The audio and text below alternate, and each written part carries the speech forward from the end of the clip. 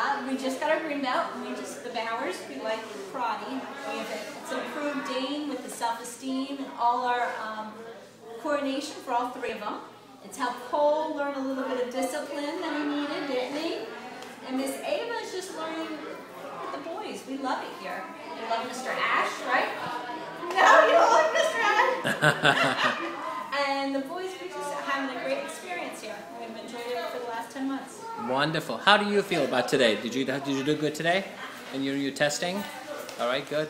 Did you guys get the whole self-defense and uh, the whole part about self-discipline and discipline? Do you remember the difference? What's the difference? Um, self-discipline is where you, um, you do something that somebody didn't tell you to do. Exactly. And discipline is what, um, you do something what somebody told you to do. And self-discipline is what? When when somebody doesn't have to tell you, You- right?